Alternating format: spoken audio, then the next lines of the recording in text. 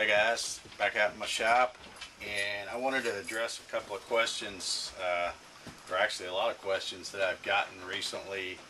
Uh, you know, people have gotten their, their plans and they're starting to uh, make some parts and they're thinking about software and, and, and everything. And I've had a bunch of people ask me about CAD programs, you know, uh, which is the best CAD program to use and all that. And there's really no uh, really good answer for that because you know if you if you're used to drawing in anything at all, whether it be Corel Draw or uh, AutoCAD Lite or TurboCAD or you know Google SketchUp, any of those kinds of things. If you're already used to drawing in some uh, some form of drawing program, that's what you should stick with, and and instead of trying to learn something new.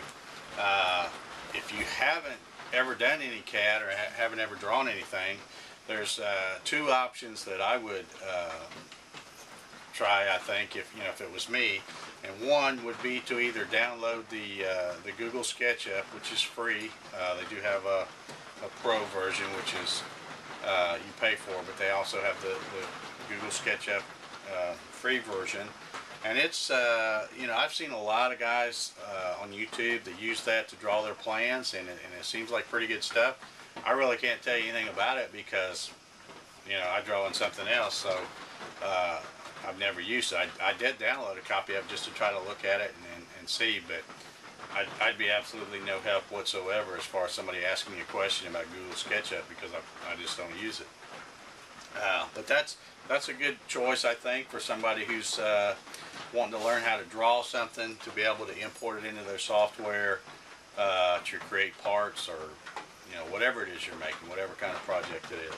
Uh, the other option I think you might have is if you get some software like, uh, like this is uh, my version of VCarve Pro here, and they do have, it's not just to program, uh, you know, you can import a drawing if you if you do draw it in something else, but you don't have to. If you if you don't know how to draw anyway, you might as well learn how to use their drawing tools uh, to draw uh, things. They do have, you know, you can put text and text on an arc and, uh, you know, just all kinds of things with this. And, and as you might have saw in the, the, the video, I think a couple of videos again uh, ago when I was showing how to make the, uh, the little router mount plate, I actually drew, you know, I did a 3D model of that part in some other software, but then when I brought it in here, I also needed to use this to change some lines to make the the dados and that kind of thing. So, uh, you know, if, if you if I didn't have already have some other CAD and was proficient in, in drawing in it, I would learn how to use this probably. That would be my uh, best bet because that way I don't have to buy another CAD package. Uh, but I wanted to, I just want to talk about that a minute. I know I've had a lot of people say, hey, you know, what what kind of CAD program do I need? And uh, you know, it really doesn't matter. Any kind of CAD program will work if you're again, if you're used to drawing in something, if you've used anything else at all, stick with that.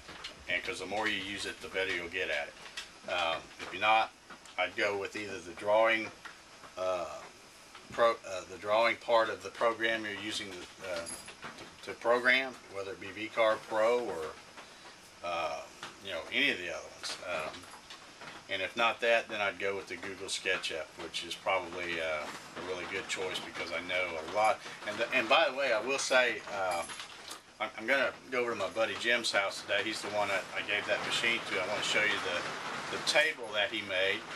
But also, he's got the, uh, the newer version of VCarve Pro. I haven't bought the update yet. Uh, I need to get that. But he bought the new uh, 7.5 of the VCarve Pro and it does have, one of the things that they changed in the new version is it does have where you can import from Google SketchUp. I guess they realized that that's a, a really popular drawing software now, so they needed to add that to where you can import from Google SketchUp straight into the VCarve Pro. So I thought I would mention that. But anyway, I'm going to head over to my buddy Jim's house. I want to show you the table uh, clamping system that he's put on that, uh, that little machine.